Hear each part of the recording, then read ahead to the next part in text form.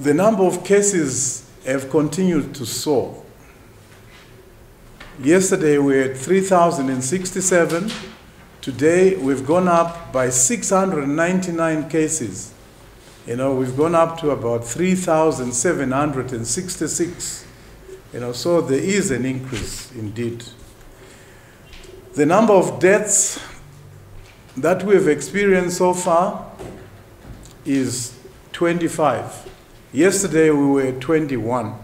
So the number of deaths has increased by four. We've had three deaths at uh, Beatrice Road Infectious Diseases Hospital and uh, one death in Glenview.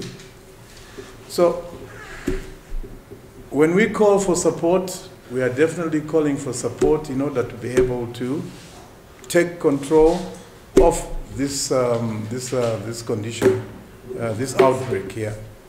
So we are very glad to note that there are some companies who have come forward right now and they're going to make their pledges. Has urgently donated this truck that's parked downstairs as we feel this vehicle should be of great assistance to enable mercy missions to help deal with this current problem and help save Zimbabwean lives. We are very grateful to our group chairman who has basically approved a budget of up to $10 million for the work that is targeted at assisting in this crisis. Mm.